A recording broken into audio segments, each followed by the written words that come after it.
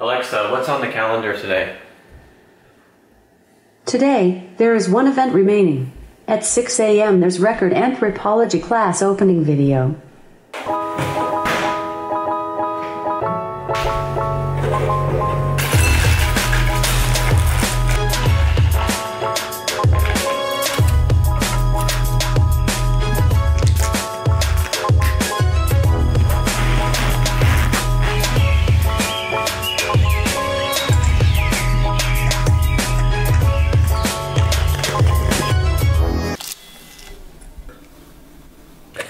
So, before we get started today, uh, you should probably know like two things about me.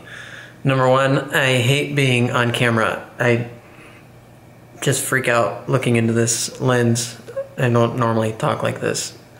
Um, I also don't usually like lay down on a table. Two, I love teaching anthropology.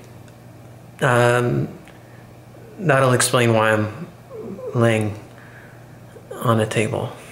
Anthropology is the science of human beings. It's also the art of being human. And pursuing the art of being human and helping others pursue it, that's what I love to do. But it's never been easy. My life's journey looks something like this. Each major new endeavor in life is marked by a fork in the road. Beyond this is a mountain, the mountains of fear. And before each mountain is a river, the rivers of doubt. And just before the doubt and the fear is a smooth green path leading somewhere else. When I first started college, I had a hunger to travel the world, meet new people, and learn from them. But I could hear the rivers of doubt saying, You've never traveled. You're an introvert. You're not good at meeting people. I thought maybe I should just go to business school and make money. But my love was greater than my fear, and I majored in anthropology. I went on to graduate school. I had to rewrite my first paper seven times. After the sixth time my professor handed that paper back to me, the rivers of doubt were screaming, You can't write. You can't write. I thought maybe I should just take the easy road. But my love was greater than my doubt, and I made it through my classes. Then it was time to do field work. I would have to travel halfway around the world to a remote village with no electricity or running water, and live with people I'd never met. Three weeks in, I was breaking down. I thought, maybe I should just go home and play it safe. But my love was greater than my fear, and I finished my fieldwork. Then I got my first job. I was a professor now, and I felt the need to be and act like a professor should act, teach like a professor should teach. I thought maybe I should just follow the traditional model of success. But my love was greater than my need for success, and I redefined success on my own terms. And now, 12 years later, I face another new thing. Higher ed is changing. The world is changing. The way we communicate, educate, and share is changing. The rivers of doubt are screaming out to me You've never been on camera. You've never made videos like this. And the mountain of fear trembles, saying, You know, if you fail, everybody will see it. The green path leads to the same old routine. I could rest on my laurels, coast through the rest of my life. But my love is greater than my doubt and greater than my fear. But just like every mountain I've faced before, there's bound to be a rough start. What you're about to see is a rough start. Morning class. It's a big day today, our first day of anthropology class. I'm on rollerblades just to get my mind off the fact that I'm looking into a camera, which just feels really weird to me and I'm scared of it. So anthropology is a study of all humans in all times and all places. And there's a hill up ahead It's about 1200 it's about 1200 feet long and so we're gonna pretend like it's a 12,000 year timeline. So here was the plan. Anthropology is the study of all humans in all times, in all places. So I wanted to give you a sense of the grand sweep of human history and where we are today. So the plan was to speed down this hill on rollerblades, getting faster and faster to represent the speed of change, then turning around the corner at the bottom of the hill to show the tremendous population growth after the Industrial Revolution. So my actual path would look like this. Here's what a slow test run with a drone looked like. What I had not really accounted for was fear. And so we're gonna pretend like it's a 12,000 year timeline. So each foot is going to be, each foot is going to be 10 years. That I could not move a decimal point one position at the top of the hill was a bad sign. Something really dramatic happens right about the time that we cross the 12,000 year mark. Somebody starts planting their own food. Once they start doing this, they don't longer have to move around to get their food. They can start to settle down, and their settlements start to get bigger. So that by 9,000 years ago, the first cities are appearing. As we speed forward, 8,000 years ago, people no longer have to do the same thing. They can all do different things. So they start innovating. 6,000 years ago, we have the first cities. And then after these cities start to grow, Halfway down, the lecture was completely falling apart, you'll notice but I was determined to try to save it. about 2,000 years ago, and as we as we hit the corner part of history, the population explodes.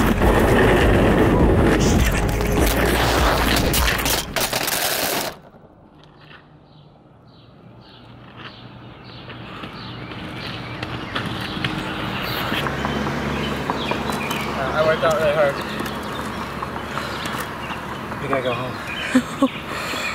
Ooh, you tore up your leg pretty bad. Yeah. Oh man. I'm getting dizzy. The things I'm gonna do for this class. oh god. Morning everybody. Welcome to the first day of anthropology class. This is Rosemary, my assistant.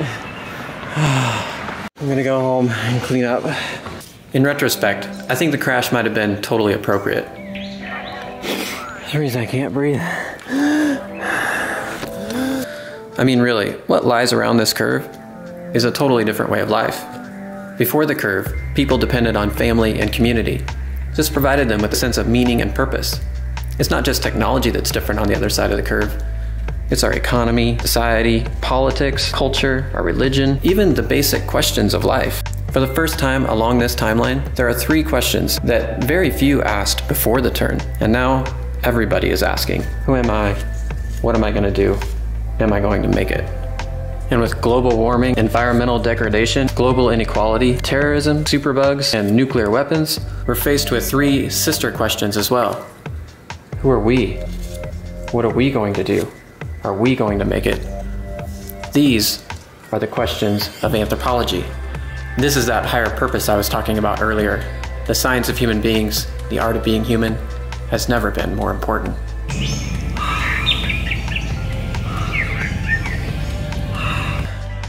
I do have a beautiful view. I tell you, this hurts like hell. Yep, I gotta go bye bye. I gotta go try again. This is George. I've learned a lot from him. That's what you taught me. When you fall down, you gotta get back up. Remember when you used to go down the stairs? You are, if you're not where you want to be, if you don't have what you want, want to have, if you're not where you think you should be at this particular place, it has nothing to do with the system, but it has everything to do with the fact that you're not making the sacrifice. And you used to get right back up and keep trying? Stop running from your pain and embrace your pain. Your pain is going to be a part of your prize, a part of your product. I, I challenge you to push yourself. And I did that a one time. Yeah, and then you finally did it? Listen to me, you're gonna be here one day, but you'll never get here if you give up, oh. if you give in, if you quit. And finally, guys, you gotta wanna succeed as Yeah. bad as you wanna breathe. And now you can jump. Oh, now you can jump down the stairs. Yay! All right, we're gonna try this again. The human body is kind of amazing. I crashed just like an hour ago, and here I am again, back on my rollerblades. I love teaching, but I don't really feel like a professor. A collared shirt feels like a costume to me. But I love putting it on, because it means I get to go stand in my sacred spot and do what I love to do.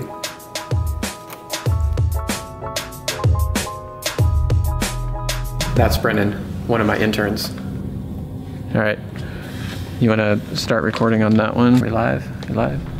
Have I told you about how sacred this room is to me? No. so, when I was, I suppose, your guys' age, I would sit right here, and the room used to be this way. And this was actually the first place I sat when I came to K State. It was my first class ever.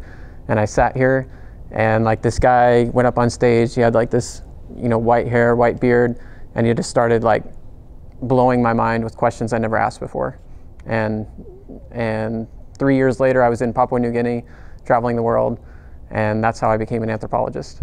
so like, so I kind of see like this spot as like my sacred spot, and it's kind of amazing that I get to come back here and teach from here now. So after 20 years of studying anthropology and 12 years of teaching anthropology, I came to the idea that you could actually organize all of anthropology into 10 big ideas. Your, your syllabus is actually organized around these 10 lessons. So I'm just going to play a short clip from the moment that I kind of thought of these 10 big ideas.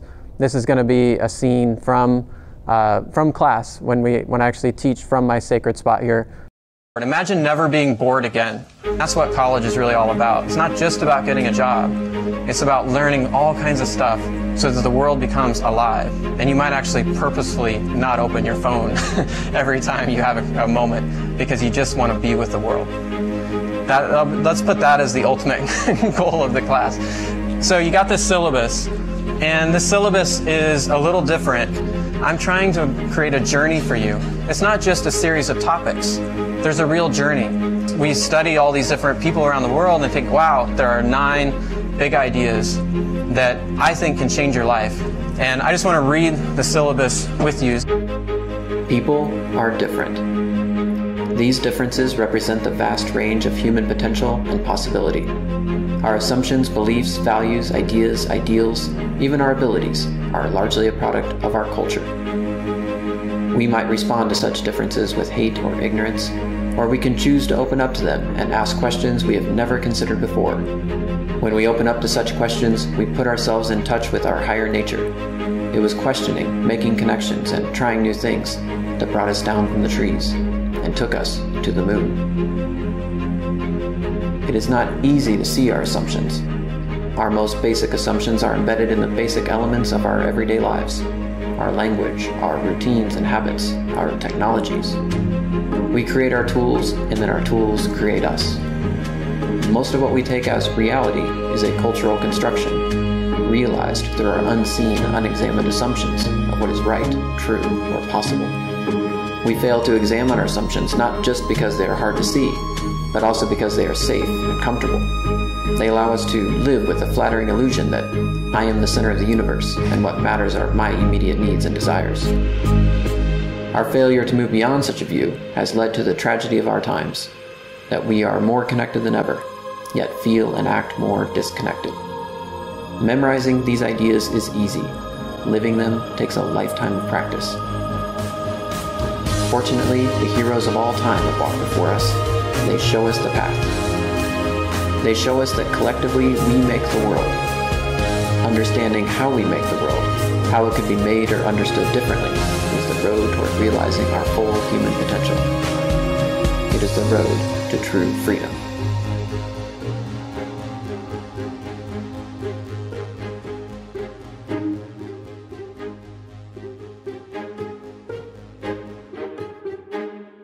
So after 12 years of teaching in this class, I had a revelation that you can't just think your way into a new way of living. You have to live your way into a new way of thinking.